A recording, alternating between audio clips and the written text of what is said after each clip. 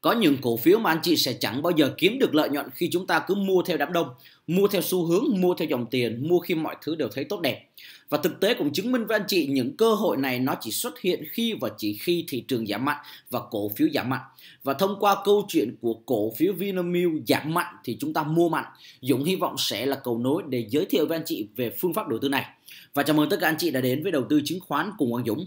Ngoài những chia sẻ mỗi tối 8 giờ tối trên YouTube, Dũng còn viết ra những mặt sáng, mặt tối các kiến thức vận động trong đầu tư. Trên website quangdungstock.com một kiến thức trong đầu tư, các anh chị cùng đó đọc. Tại sao lại gọi là giảm mạnh thì mới mua mạnh? Trong một điều kiện bình thường không đầu tư Vinamilk được hay sao? Mà phải chờ cổ phiếu này giảm mạnh thì chúng ta mới mua mạnh. Vậy thì đi với nhau một vài câu, câu chuyện và luận điểm của video này. Nếu như đây là cái xu hướng của cổ phiếu này trong vòng khoảng 2 đến 3 năm trở lại đây, thì anh chị dễ dàng tính lý thì cổ phiếu Vinamilk nằm trong một pha giảm của thị trường. Và nếu như anh chị là những người có hay theo dõi những chia sẻ của Dũng trước đó, thì những cổ phiếu nằm trong pha giảm thì chúng ta hạn chế đầu tư. Vậy tại sao Vinamilk lại giảm mạnh và chúng ta mua mạnh mặc dù Vinamilk vẫn đang nằm trong một pha giảm của thị trường? Tất nhiên đó là những thứ mà Dũng muốn trao đổi với anh chị một cách ngắn gọn chứ không phải là, là chúng ta chỉ cổ suý rằng cổ phiếu nằm trong pha giảm thì chúng ta không đầu tư. Chẳng qua là khi mà chúng ta có một cái gì đó nó nó xúc tích nó ngắn gọn thì các anh chị có thể lược bớt đi những cái doanh nghiệp xấu. Những cổ phiếu nằm trong một pha giảm thì có liên quan rất nhiều yếu tố. Thứ nhất là yếu tố về cấu trúc tài chính phức tạp. Thứ hai là những doanh nghiệp đó sức khỏe không tốt. Thứ ba là những người lãnh đạo đó không minh bạch. Hoặc thứ tư đó là những doanh nghiệp đó kém hấp dẫn. Vậy thì sự uh, xem xét thử coi Vinamilk nó nằm trong một yếu tố nào Vậy thì biết để biết được cái yếu tố làm cho cái giá cổ phiếu liên tục sụt giảm như vậy thì chúng ta hãy nhìn vào cấu trúc tài chính của một doanh nghiệp và báo cáo hoạt động kinh doanh của doanh nghiệp. Và đây là báo cáo hoạt động kết quả kinh doanh của Vinamilk trong quý 2 năm 2020. Chúng ta cùng phân tích với nhau xem từ coi tại sao trong khoảng 2 năm trở lại đây thì Vinamilk liên tục nằm trong một pha giảm của thị trường. Nếu như anh chị tân ý thì chúng ta sẽ thấy đây là kết quả kinh doanh của quý gần nhất tức là quý 2 năm 2020. Đây cũng là quý mà giãn cách và cách ly xã hội, do đó các doanh nghiệp niêm yết trên sàn chứng khoán công bố kết quả kinh doanh đa số đều kém tích cực. Vậy thì chúng ta xem được coi doanh thu của Vinamilk là 15.500 tỷ, cao hơn khoảng gần 1.000 tỷ so với cùng kỳ năm ngoái, tức là tỷ lệ tăng trưởng doanh thu là khoảng 6%. Tỷ lệ tăng trưởng lợi nhuận gộp của doanh nghiệp là khoảng 2% và tỷ lệ tăng trưởng lợi nhuận trước thuế của doanh nghiệp nó rơi vào khoảng gần 5% tức là cao hơn khoảng hơn 200 tỷ so với cùng kỳ năm ngoái. Vậy thì rõ ràng chúng ta đánh giá rằng là đây là một cái bối cảnh của quý 2 đó là cái quý dịch bệnh đang hoàn hành. Mà tại sao doanh thu và lợi nhuận của doanh nghiệp vẫn duy trì? Vậy đây có phải là một sản phẩm thiết yếu hay không? Tại vì chỉ có những sản phẩm thiết yếu thì anh chị mới có thể tăng trưởng trong một bối cảnh kinh tế phức tạp được. Vì những thứ thiết yếu đó là những thứ chúng ta có nhu cầu dùng hàng ngày.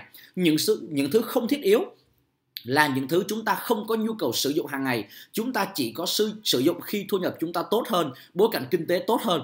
Còn những sản phẩm thiết yếu cho dù bối cảnh kinh tế có tốt cho dù bối cảnh kinh tế có xấu cho dù thu nhập chúng ta có tăng hay cho dù thu nhập chúng ta có giảm thì nhu cầu vẫn là nhu cầu như vậy thì thông qua doanh thu như vậy để đánh giá gì? Để đánh giá rằng Vinamilk là một doanh nghiệp cung ứng những sản phẩm thiết yếu. Mà nhắc đến những sản phẩm thiết yếu thì tính chất của nó đó là tính chất ổn định. Vậy thì cái từ ổn định này nó cũng đã nói lên được với anh chị rằng đó là một lợi điểm và nó cũng là một yếu điểm.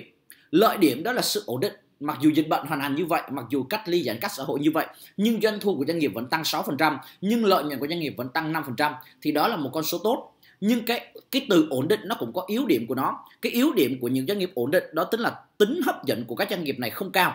Thì nếu như anh chị tin ý anh, anh chị nhìn vào con số tăng trưởng doanh thu và con số tăng trưởng lợi nhuận sau thuế nó hơi nhỏ một chút. À, thì anh chị sẽ thấy một cái đó là doanh nghiệp này trong khoảng 3 năm trở lại đây thì tỷ lệ tăng trưởng này đã, đã sụt giảm rất mạnh. Có những thời điểm doanh nghiệp cho chỉ đạt được tỷ lệ tăng trưởng nó rơi vào khoảng từ 0% cho đến 5% hoặc từ 5% cho đến 7% cả về tăng trưởng doanh thu và cả về tăng trưởng lợi nhuận. Như vậy thì cái điểm mạnh của doanh nghiệp đó là sự ổn định trong cấu trúc, điểm yếu của doanh nghiệp đó là tính ổn định và không hấp dẫn và kém hấp dẫn. Thì đó chính là những lý do để cho giá cổ phiếu giảm.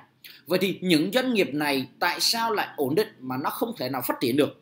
Thì có thể rằng là cái sự cái từ phát triển và cái từ ờ, từ đi lên đó nó phải nó phụ thuộc rất nhiều vào ý chí của người lãnh đạo. Một doanh nghiệp không còn đi lên nữa thì có thể liên quan đến vấn đề là người lãnh đạo đó không còn mong muốn đi lên nữa, hoặc là cái doanh nghiệp đó nó đã quá lớn rồi tức là cái thị phần của nó trong một đất nước nó đã quá lớn rồi và không thể nào gia tăng một cách nhanh chóng, giống như là thời trai trẻ được đó là những sự trưởng thành của con người trưởng thành so với lại những sự tăng trưởng nhanh vượt bậc của các ờ, của những cái tuổi trẻ hoặc là các doanh nghiệp trẻ thì đó chính là cái câu chuyện thời điểm hiện tại của Vinamilk và đấy cũng chính là những lý do khiến cho khoảng 2 đến 3 năm trở lại đây thì Vinamilk giá cổ phiếu nằm trong một pha giảm. Vậy thì những doanh nghiệp nó đã như vậy rồi thì làm sao chúng ta nên đầu tư làm gì? Tại sao lại là cái tiêu đề của ngày hôm nay đó là cổ phiếu Vinamilk giảm mạnh thì chúng ta lại mua mạnh? Thì thực ra thì cũng cái từ ổn định nó cũng đã nói lên với anh chị rồi doanh nghiệp này là doanh nghiệp quá lớn chứ không phải là doanh nghiệp quá xấu. Nếu mà để nói doanh nghiệp quá xấu thì chúng ta cũng chẳng cần phải ngồi với nhau ở đây để mà bàn luận về và đưa ra những cái luận điểm để xem xét từ coi có nên đầu tư vào Vinamilk hay không.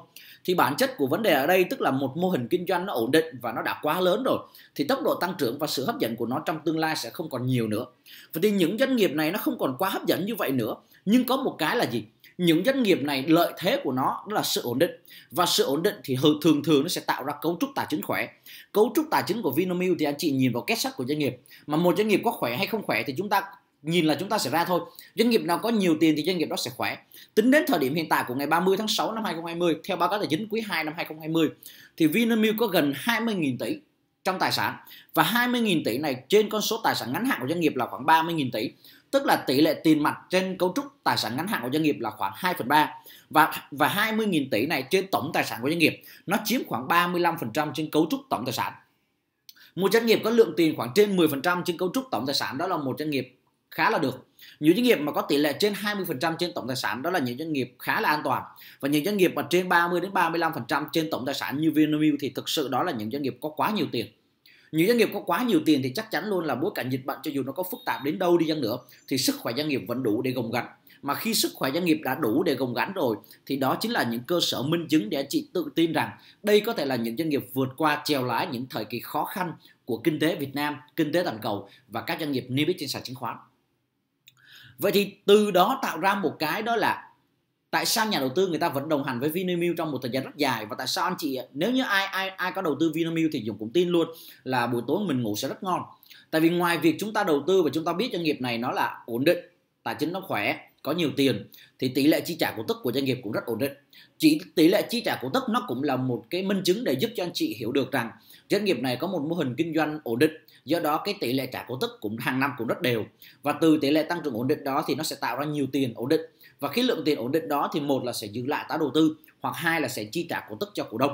Thì đấy cũng chính là một trong những lý do mà chúng tin luôn là các anh chị đầu tư vào Vinamilk thì anh chị sẽ không quá lo lắng về cấu trúc của doanh nghiệp, về bối cảnh của doanh nghiệp mà cái lo lắng duy nhất của chúng ta đó là cái giá này có hấp dẫn hay không?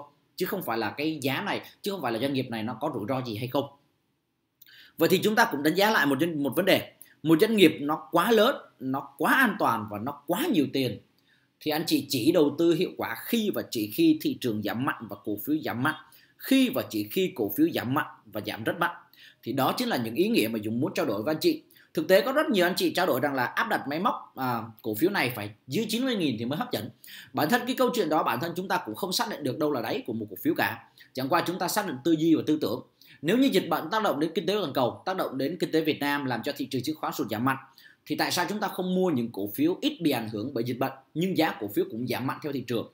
Nếu như thị trường giảm 15 20% cổ phiếu đó cũng giảm 15 đến 20% nhưng doanh thu và lợi nhuận của doanh nghiệp đó nó không giảm thì đó có phải là cơ hội mở ra cho chúng ta hay không?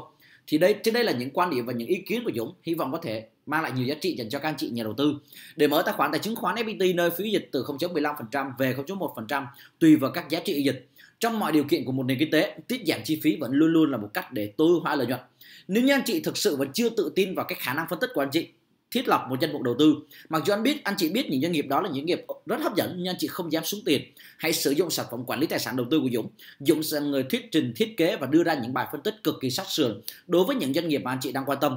Những doanh nghiệp đó phải phù hợp với dòng vốn của anh chị, mức độ kỳ vọng và mức độ rủi ro của anh chị. Trên đây là lịch đào tạo của Dũng và tuần sau khoa học đầu tư chứng khoán cơ bản online tối 3 năm 7 từ 7 rưỡi đến 9 rưỡi, Dũng sẽ là người định hình lại hoàn toàn với anh chị về phương pháp đầu tư. Đa số nhà đầu tư chúng ta vào một thị trường mà không có phương pháp mà phương pháp đầu tư thì nó lại phụ thuộc rất nhiều vào bối cảnh kinh tế. Từ bối cảnh, từ phương pháp mới ra được danh mục đầu tư từ năm 2020 cho đến 2022 mà chi tiết xin liên hệ với Quang Dũng qua số điện thoại 0933 687 436 Dũng xin hết.